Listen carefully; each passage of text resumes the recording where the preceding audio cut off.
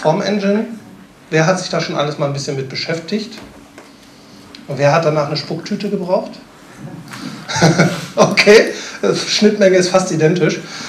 Ähm, Christian Kuhne hat letztes Jahr angefangen, hat dieses Frühjahr ähm, komplette fünf Monate da an Zeit reingesteckt, Vollzeit, und hat mal so ein bisschen das Backend-Rendering der Formulare überarbeitet. Und da ist eigentlich ziemlich geiler Scheiß bei rumgekommen. Ähm, wir kriegen gleich noch ein bisschen was zu sehen an Code.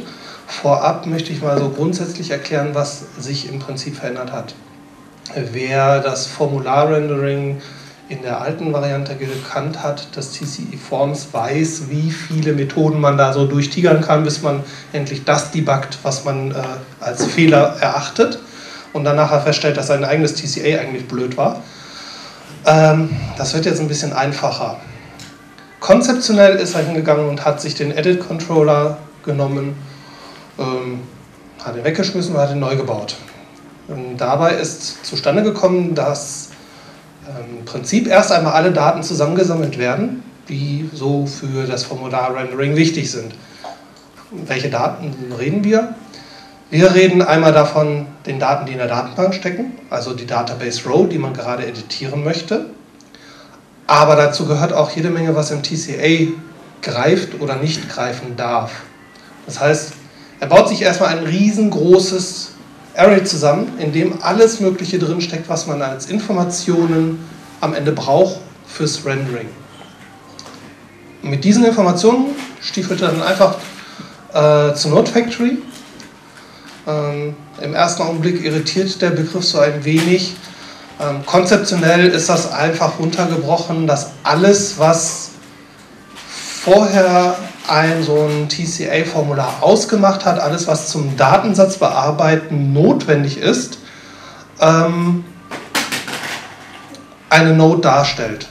Von außen nach innen, vom größten zum kleinsten runtergebrochen. Das bedeutet also, wenn man sich so ein Backend-Formular mal anschaut, dann hat man ähm, Tabs, zumindest wenn man ähm, das entsprechende Display-Tabs äh, auf True gesetzt hat hat man also verschiedenste Karteireiter. Auf diesen Karteireitern gibt es dann äh, Paletten, gibt es einzelne Felder, ähm, gibt es Inline-Elemente, gibt es Flexforms und all das wird jeweils als einzelne Node betrachtet. Das heißt also, dass selbst die Karteireiter außenrum durch ein entsprechendes Element, durch die Node Factory gerendert wird. Und dafür wurden vorab, bevor das an die Node Factory übergeben wurde, alle Informationen eingesammelt, die für das Rendering rele relevant sind. Ähm, wir betrachten ganz konkret heute, ähm, was macht ein Form Data Provider? Das ist eigentlich das Element per se, was für diese Verarbeitung der Daten zuständig ist. Das betrifft unter anderem ähm, so Geschichten wie Rechtemanagement, welche Felder sind als Exclude-Felder definiert und sind dem Redakteur freigegeben. Ähm, darunter fallen auch Display Conditions. Darf dieses Feld überhaupt ausgegeben werden? Passt es in diesem Kontext jetzt gerade, weil ein Feld vorab schon passend befüllt war?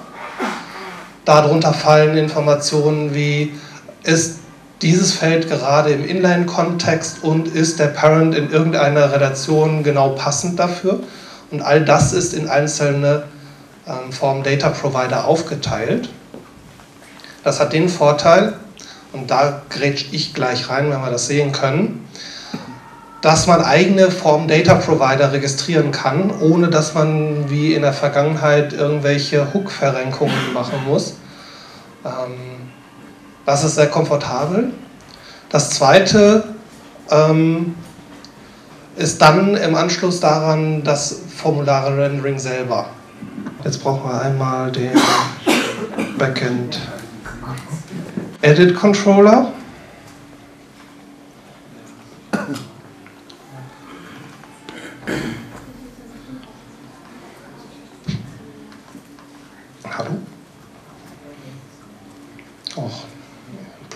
Position.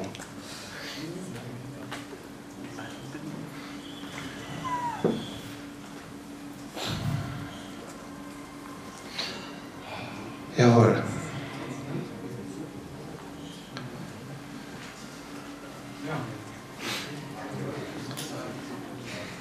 So. Okay. Ähm, ich erwähnte, dass man den, dem Edit Document Controller arbeiten muss, wenn man sich diese Daten etwas genauer angucken möchte. Das macht letztendlich die Form Data Group, die wird an den Form Data Compiler übergeben. Dieser Form Data Compiler nutzt diese Gruppe, um die da drin ausgelesenen Form Data Provider nacheinander abzuarbeiten und ein entsprechendes ähm, Ergebnis-Array anzureichern. Ähm, das resultiert dann in dem Form Data Array, das dann an die Node Factory übergeben wird, die dann letztendlich das Rendering im Einzelnen durchführt. Das passiert dann in der Node Factory Create, die diese Form Data übergeben wird, bekommt und dann mit dem Rendering angestoßen wird woher weiß jetzt die ähm, Form, ja, Form Data Compiler bzw. Form Data Group, was es abarbeiten muss? Dafür gibt es in Core Configuration die Default Configuration. In der sieht man die Settings für die Form Engine und das umfasst im Prinzip drei Teile. Ich fange hier im Prinzip von unten nach oben hin an.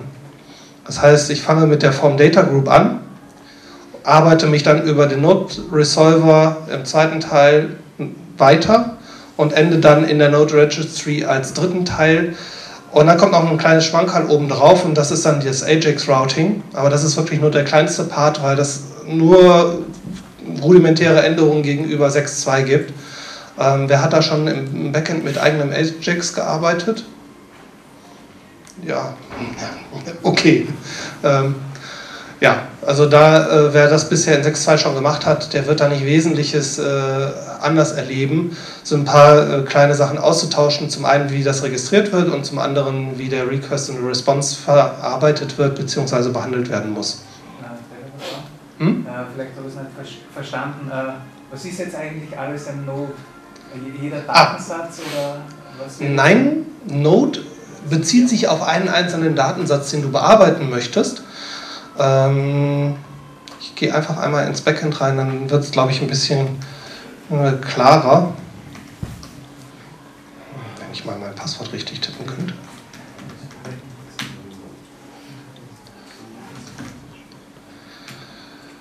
Oh,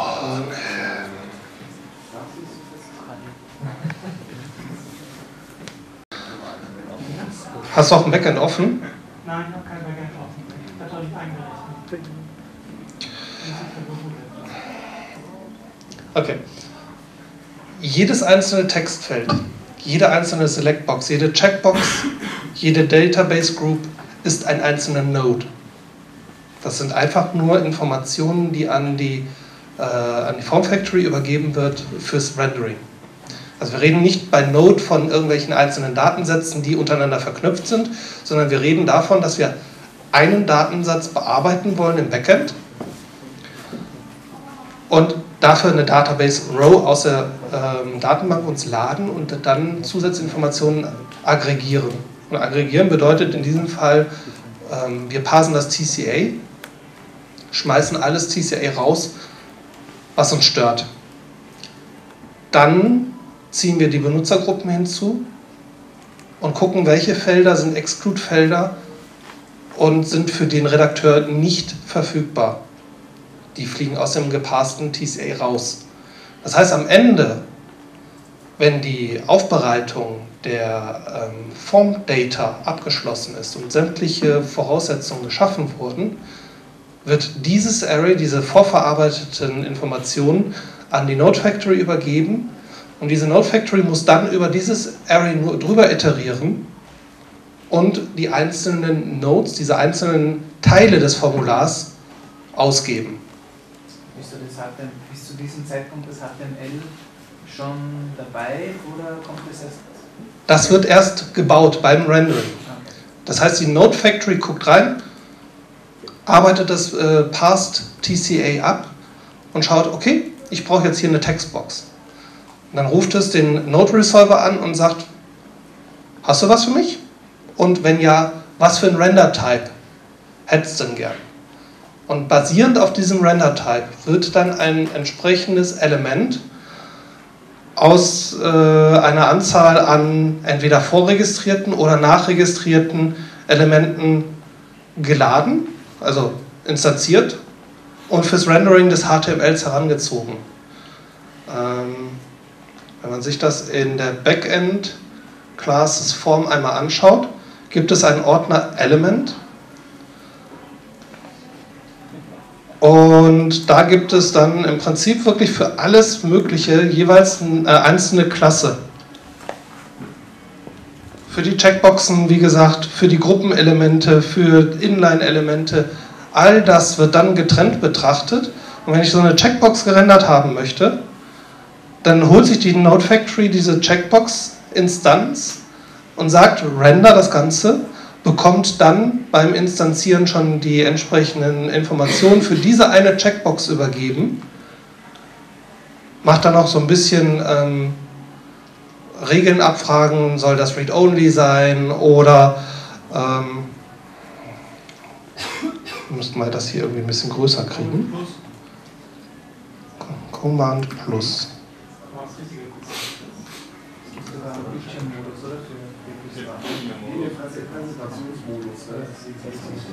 Finger auseinander. Finger auseinander. Yay! Herr Franke, Sie haben meinen Hintern gerettet. Also man sieht hier, es werden noch so ein paar Zusatzinformationen aufbereitet, ähm, sollen das bestimmte Klassen bekommen, ähm, soll das zweispaltig gerendert werden. All das wird dann vorbereitet und danach wird das HTML gerendert. Und zwar wirklich nur das HTML für diese eine Checkbox. Das heißt, jedes einzelne Element, das im Moment des TCA-Verarbeitens und des Formularaufbauens benötigt wird, wird jeweils in diesem einzelnen Element zur Verfügung gestellt. Ja.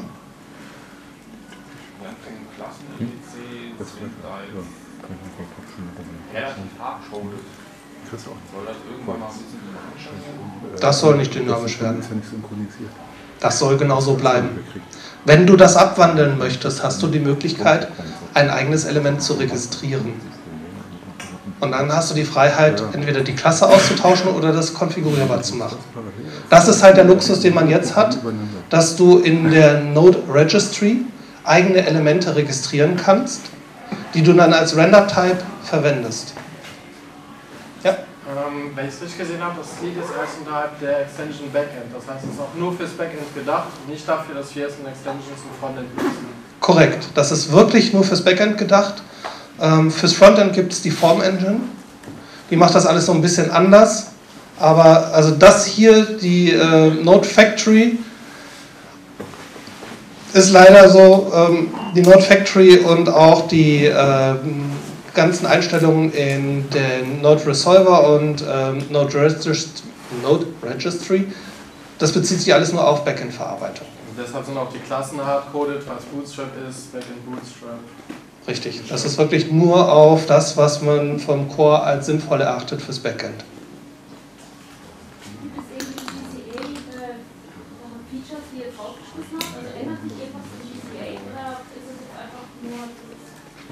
Ich stelle es mal provokant die Frage, hast du bisher was feststellen können, das anders aussieht oder was nicht mehr darstellbar ist? Also ich habe bis jetzt zwei Projekte mit einer neuen Version gemacht. Das, mhm. viele. das heißt, bis jetzt mir noch nichts wirklich aufgefallen.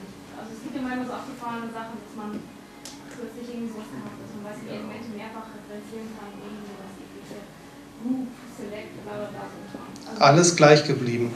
Nicht ganz.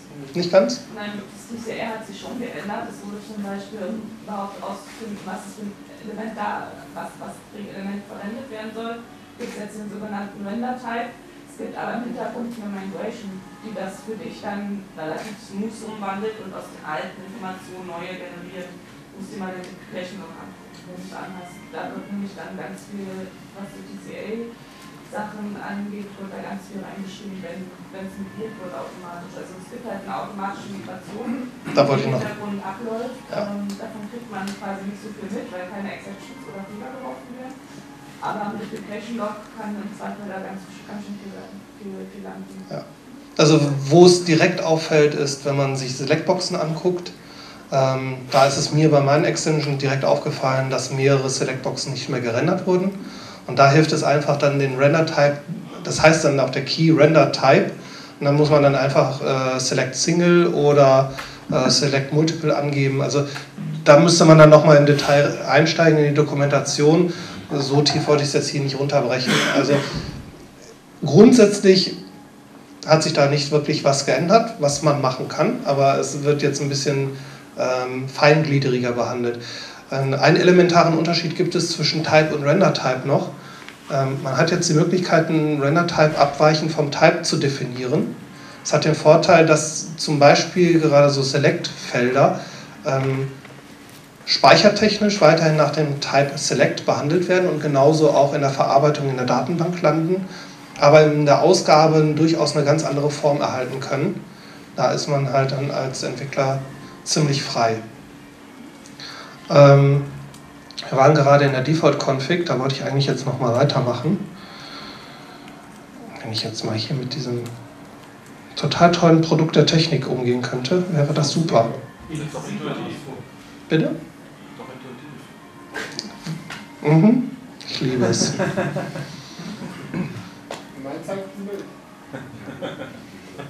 Ruhe da hinten. Nee, das ist der falsche Ordner. Configuration. Default Configuration. Das sollte eigentlich jedem auch mal geläufig sein, weil es nicht nur ähm, für die Form Engine so Default-Werte mitliefert, sondern alle Default-Werte mitliefert, die der Corso kennt. Ähm, ja, das ist so ein ganzes Stück zu schrauben. Da ist halt neu der Key Form Engine mit Node Registry, Node Resolver und Form Data Group. Es gibt mehrere Form Data Groups, die abhängig von dem jeweiligen Zustand, der gerade gerendert werden soll, ist. Ähm, es gibt einen Unterschied zum Beispiel beim Inline, wenn man dort einen äh, Klick auf neues Element hinzufügen ausführt, wird zum Beispiel nur der Inline Parent Record verarbeitet. Da passiert so ein bisschen weniger. Ähm, in der Regel reden wir aber meistens von dem TCA Database Record. Und da sind alle ähm, Standard Form Data Provider angegeben. Bei der Angabe gibt es so ein, eine kleine Spezialität, die lassen sich sortieren. Es gibt einmal die Möglichkeit, über Depend zu sagen, mein aktueller Form Data Provider braucht dringend vorab verarbeitete Daten von einem anderen Form Data Provider. Das heißt, er dependet darauf. Es gibt aber auch die Möglichkeit zu sagen, before. Das heißt, ich möchte ganz gerne, dass mein Form Data Provider zwingend vor einem anderen ausgeführt wird. Das heißt also, genauso wie jetzt hier das Depend dargestellt wird, würde sich das auch mit dem Before ausdrücken lassen. Im Einzelnen wird das dann in der Form Data Group dafür verwendet, dass ein ähm, Sorting Group Service, glaube ich heißt das Ding, ähm, aufgerufen wird, der das ganze Array einmal durchpasst und die entsprechenden Form Data Provider in Abhängigkeit von diesen Depend und Befores hintereinander in ein Array steckt. Genau den, den Dependency Ordering Service. Also in der Namensgebung war sie sehr kreativ. Ich finde es toll. Ähm, das hat halt die Möglichkeit, wenn ich auch nachträglich noch meinen eigenen Form Data Provider registriere, dass ich ihn trotzdem in der Verarbeitung vor einem vom Core mitgelieferten Form Data Provider stecken kann. Ähm, das werde ich auch gleich nochmal im Code bei mir zeigen. Ich kann es leider äh, aufgrund des Display-Problems hier nicht in äh, Aktion zeigen. Ähm, ja, also die grundsätzlichen Voraussetzungen haben wir jetzt schon mal so weit umzirkelt. Ähm, jetzt brauche ich mal meinen eigenen Code nochmal.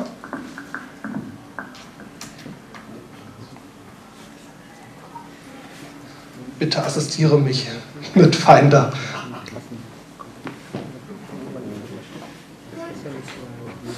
Informationen, um einzusteigen. An der Stelle, wo ich mich selber reingehängt habe, haben wir jetzt so ein bisschen umzirkelt. Was ich machen wollte, was auch nicht ganz so ungewöhnlich aus meiner Perspektive erscheint, ist, es gibt ein schönes kleines Element, das nennt sich hier Quicks Container. Ähm, Quicks ist fürs Frontend eine Darstellung, wo man mehrere Kacheln nebeneinander hat, die sich dann, wenn man drüber fährt, entsprechend breiter machen und die anderen kleiner macht. Ist also ein bisschen Spielerei, ein bisschen Styling-Fu. Jetzt möchte ich in so einem Container auch nur ganz definierte Unterelemente zulassen möchte ja nicht jetzt jedes TT-Content-Element zulassen, das würde vom Rendering nicht ganz so viel Sinn ergeben. Also möchte ich, dass in meinem Inline auch nur ganz definierte Elemente ausgegeben werden. Und zwar die Quicks-Elemente. Und zwar auch nur die Quicks-Elemente. Im ersten Step klingt es jetzt nicht ganz so schwierig. Wenn man sich das dann mal ein bisschen mehr anguckt, merkt man, mh, hm, nicht ganz so einfach bis dann das Form Engine Geraffe von Christian reingekommen ist und das hat es dann doch wieder äh, für mich zugänglicher gemacht. Ähm, ich brauchte zwei Form Data Provider, die an unterschiedlichen Stellen in der Verarbeitung eingreifen. Der erste ist ein Record Type Value Provider, der nichts anderes macht, als ganz definierte Werte in das Form Data Array reinzuschreiben. Ich brauche das zu einem sehr frühen Zeitpunkt, weil die TCA-Verarbeitung zum Beispiel beim Bodytext auf Werte zurückgreift, die vorab in dem Rendering Type Value gesetzt sein müssen, um zu entscheiden, ist das ein RTE-Feld oder ist das ein Plaintext-Feld. Um also diesen Wert so früh wie möglich zu erhalten, habe ich meinen ähm, Form-Type Value hinter das Laden der Database Row selber, also dem aus der Datenbank herauslesen, gesetzt, aber vor dem Rechte-Check. Wenn man sich das mit der Default Configuration nochmal anguckt, dann bedeutet das, ich gehe hin, hole mir erst einmal die ähm, Database, war das Database Parent Row? Database Parent Row. Also erst einmal das muss verarbeitet worden sein und damit ich auch sicher sein kann, dass nicht nur das vorausgesetzt dass das nicht nur vorausgesetzt ist, sondern dass ich auch direkt danach komme, musste ich die Database User Permission Check Data, äh, Form Data Provider als ähm, Before setzen. Ich muss mich also genau an, zwischen diese beiden setzen. Ähm, ich weiß nicht, ob es auch gereicht hätte, wenn ich irgendwo äh, noch hinter dem äh, Page tsconfig mich gesetzt hätte oder so. Auf jeden Fall sollte es halt so früh wie möglich klar sein, du darfst das TCA nur für diesen ähm, Record Type Value auswerten Inline-Record, also wenn äh, quasi als ihre Element nur dieses X-Element zugelassen werden soll, ja? Mhm. was war jetzt die Motivation hierfür nicht einen eigenen Datensatz zu verwenden und äh, TT-Content dafür zu verwenden, weil mit einem eigenen Datensatz wäre das, wenn eh nur das erlaubt ist, wäre das, ist, kann man das jetzt halt einfach konfigurieren. Weil ich mir eine eigene Tabelle dafür spare? Ja, dafür muss man das alles machen. Das ist doch eine gute Übung. Es geht ja auch darum, herauszufinden, was kann ich überhaupt machen. Also es ist ja, es gehört eine Portion Spieltrieb dazu. Das Zweite, was ich brauchte, war, ähm, auch wenn ich den ähm, Record Type Value gesetzt habe, habe ich zwar genau dafür das TCA ausgewertet und gerendert bekommen, aber ich hatte im Seed Type Select Box immer noch alle Seed Types. Also es war immer noch möglich, den Type zu wechseln. Das wäre zwar beim nächsten Aufruf wieder rückgängig gemacht worden, weil dann wäre wieder mein äh, Record Type Value gesetzt worden und der hätte es überschrieben. Aber ich wollte einfach dem Redakteur auch klar machen, hier hast du nichts mehr zu suchen, hier findest du nur genau das eine. Und dafür gibt es dann nochmal den zweiten. Ähm, den zweiten Form Data Provider, der einfach dafür sorgt, dass die Items für das C-Type auch nur auf das Quix-Element reduziert ist. Damit habe ich genau das erreicht, was ich haben wollte. Ich kann genau nur ein Element anlegen und es kann mir das keiner mehr irgendwie rückgängig machen oder den Type wechseln. Das ist einfach nur mal ein Beispiel, was man mit den Form Data Providern alles so anstellen kann. Da gibt es bestimmt auch noch ein paar andere äh, Möglichkeiten. Ich könnte mir vorstellen, dass man irgendwie auf entfernte Dienste zugreift, auf irgendeinen Service und sich da nochmal über ähm, REST noch zusätzliche Werte reinliest. Klingt ein bisschen pervers, aber ist halt eine Variante, wie man noch zusätzliche Informationen nachladen kann. Ähm, das nächste, was ich dann brauchte, war, oder besser, was, womit ich rumexperimentiert habe, war ähm, mit einem eigenen Element-Type. Und da habe ich mir überlegt, ich hätte ganz gerne die Möglichkeit, in Abhängigkeit von diesem Textfeld mein Autorfeld hier unten drunter anders darzustellen. Das heißt also, wenn ich jetzt einen B-Wert da abgespeichert habe, dann wird mir ganz normal das ein Textfeld ausgegeben, wir lassen jetzt mal komplett den Sinn außen vor. Es geht jetzt nur um eine technische Demonstration. Also es macht keinen Sinn, äh, die Autorenfelder anders darzustellen. Dessen bin ich mir bewusst. Es zeigt nur, ich kann halt in Kombination mit einem eigenen Node Resolver und mit eigenen Elementen kann ich unterschiedliche Darstellungen ähm, erreichen. Das ist nämlich genau das, was hier passiert. Ich habe einen eigenen Node Resolver der sorgt dafür, ob ich jetzt meine karierten Maiglöckchen bekomme, die der Kunde gerne hätte oder nicht. Und zwar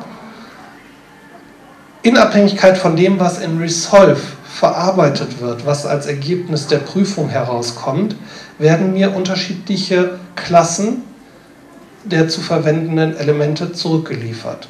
Das heißt, im Type B, der Wert ist auf B gesetzt, bekomme ich mein Input-Text-Element. Für alle anderen Fälle, egal was sonst passiert, bekomme ich meine karierten Maiglöckchen.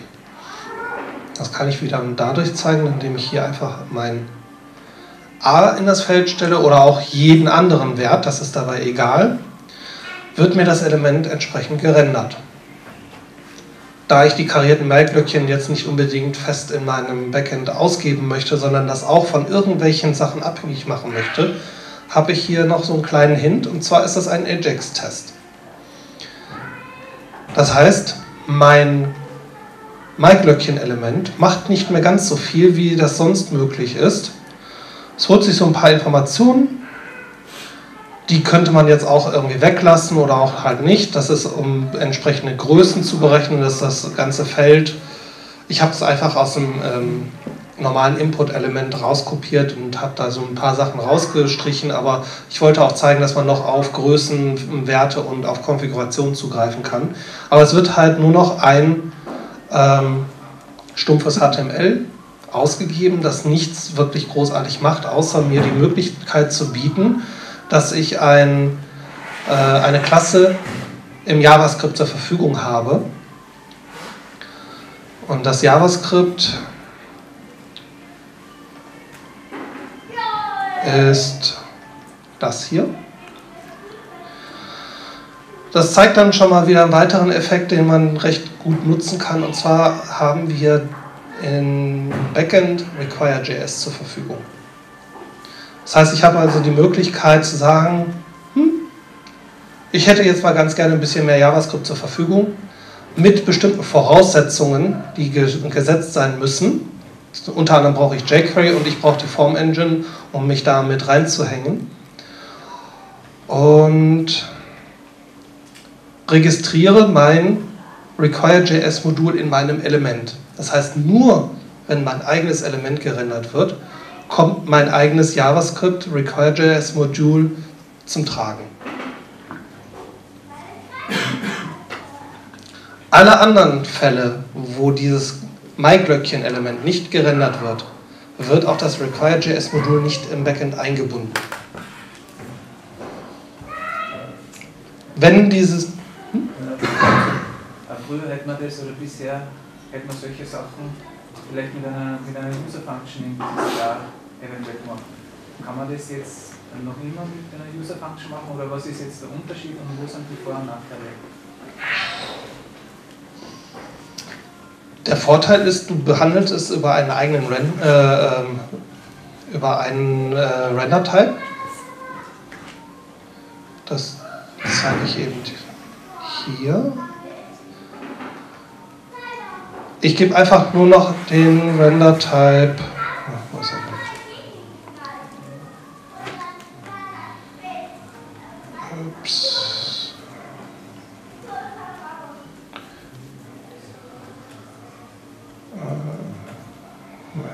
Da muss ich jetzt gerade überlegen, wie ich das eingebunden habe.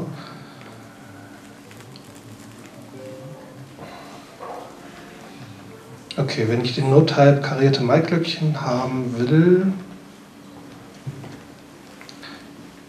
hier, dann habe ich halt im Prinzip das gleiche erreicht weil, wie bei einer User-Funk. Ähm, wenn ich mich richtig erinnere, musstest du bei der User-Funk auch das Label mit ausgeben. Da bin ich mir jetzt aber gerade nicht ganz so sicher. Nee? Also im Prinzip ist es dann das gleiche wie bei der User-Funk, nur dass du halt äh, bei der User-Funk das Require.js äh, mit einbinden, da musstest du dann den äh, Page-Renderer noch selber irgendwie instanzieren, um da dann das Add.js selber dran zu hängen. Das wird jetzt alles so ein bisschen erleichtert, indem man ähm, hier das nur an den, ans Result Array mit zurückgibt und sich dann die Form Engine selber darum kümmert, dass das Modul mit eingebunden wird. Habe ich auch also zum Beispiel die ganze Row und so, die ganzen Daten habe ich, die, in, der User Tank habe diese meine ganzen Rekorddaten so zur Verfügung, ich die auch. Ja. Wenn man sich mal das Abstract Form Element anschaut, dann bekommst du von einmal die Node Factory selber und die Form Data Row. Das heißt, du hast alles zur Verfügung, was vorher durch die Form Data Provider zusammengestellt wurde. Also das komplette Paket steht dir zur Verfügung. Ohne Einschränkungen. Ich weiß nicht, ob ich da noch Beispiel für habe.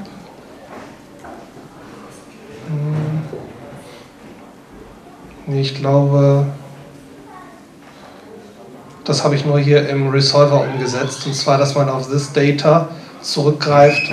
Also du hast genauso auch im Element selber das this data zur Verfügung und da ist dann auch die Database Row mit allen Werten zur Verfügung. Also da hat sich grundsätzlich jetzt nichts geändert. Nur dass du halt noch mehr zur Verfügung hast, weil du hast auch alle ähm, zusätzlichen TCA-Informationen direkt mitgeliefert. Und zwar genau so, wie das nach den Berechtigungen für den Redaktor, äh, Redakteur zur Verfügung steht. Ähm, zurück zu dem hier. Wir haben also ein Require.js-Modul registriert und in unserem eigenen JS. Ah, wir müssen noch etwas für das JS zur Verfügung stellen und zwar dafür, dass ich die Daten dynamisch bekomme, möchte ich ganz gerne ein Backend Ajax verwenden und das muss vorher registriert werden. Das hat man vorher in, früher in der Ex-Local-Conf gemacht. Das hat sich jetzt ein bisschen geändert. Das wird jetzt über Configuration Backend Ajax Route, Routes äh, ermöglicht. Man braucht einfach nur einen eigenen Key angeben, einen ähm, URL-Pfad und die jeweilige Ajax-Klasse, die als, äh, also als Controller zur Verfügung stehen soll und die Daten verarbeiten soll. Das ist schon mal so ein Änderungspunkt gegenüber das alte ähm, Registrieren. Und im Control, äh, im, im Ajax hat man dann die Möglichkeit, auf Typo 3 Settings Ajax URLs zuzugreifen und zwar genau auf meinen Key. Dieser Key bzw. diese Ajax URLs Array liefert für sämtliche Ajax-Controller im Backend die URLs mit entsprechendem Module-Token zurück, um dagegen die Requests abzufeuern. Und dann hat man halt, in diesem Fall ist das ein ganz normales äh, jQuery ähm, Ajax-Handling Das hat man dann ganz normal zur Verfügung. Und dann abschließend kommen wir nochmal auf den ähm, Ajax Controller zurück. Der hat das ganz normale Dispatch wie vorher auch, mit dem Unterschied, dass sich die ähm, Übergabewerte ein wenig geändert haben. Da muss man einfach wirklich nochmal durchgehen, ist mein Request noch kompatibel? In aller Regel nein. Ähm, da hat sich so ein bisschen schon was verändert, das muss man sich mal detaillierter angucken, aber da ist auch der Core mit genügend Beispielen gespickt. Frage? Nee, Entschuldigung. okay. Ähm, ja, und das ist dann halt so Full Circle. Damit erreiche ich dann meinen Ajax-Test, der mir dann im Backend ausgegeben wurde, wenn ich meine karierten Glöckchen ausgegeben habe. Äh, irgendwelche Empfehlungen geben, wo man das alles nochmal nachlesen kann? Im Core. Also ist nicht so Es wird wahrscheinlich dokumentiert sein. Es ist, ist deutlich äh, angenehmer geworden, Doku zu finden, aber ich habe es nicht mit der Doku gemacht. Ich habe mich da einfach ein bisschen durchgewuselt. Ich muss leider auch gestehen, ich hatte einen unfairen Vorteil. Ich war auf dem Codesprint mit Christian Kuhn fünf Tage und der hat mir so ein bisschen den Datenfluss erklärt.